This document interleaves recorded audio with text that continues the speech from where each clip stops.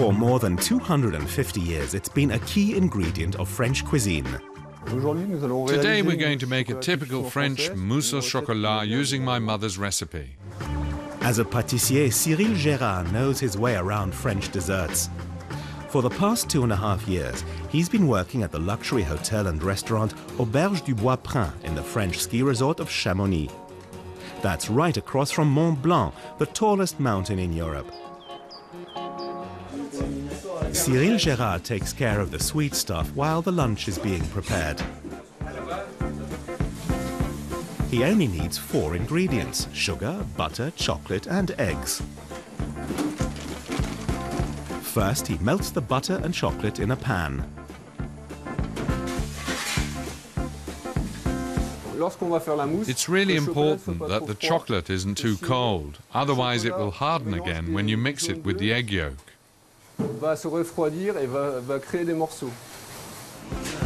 He recommends using chocolate with a high percentage of cocoa. You can buy the chocolate for the mousse in any supermarket, but it should be at least 50% cocoa. The lower the percentage, the more chocolate you'll need to use. Gérard is using chocolate with 66% cocoa. Denis Carrier owns the restaurant.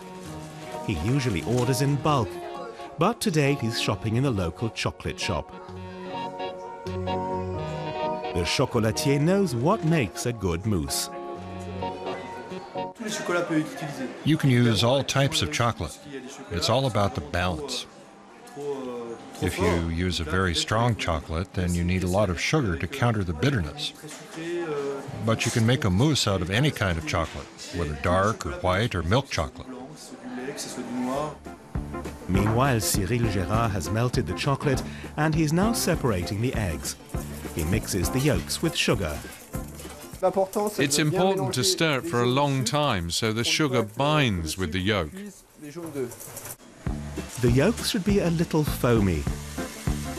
Then he beats the egg whites and mixes the melted chocolate with the egg yolk.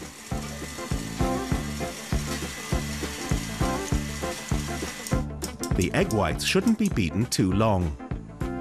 If the egg white is too stiff, then it will flake later.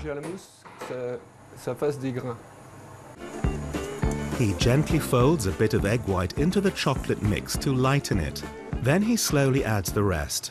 Fold it carefully so that the egg white doesn't fall in on itself. The mousse has to stay really light. The dessert is almost ready. It just has to cool in the fridge for three hours to firm it up a little.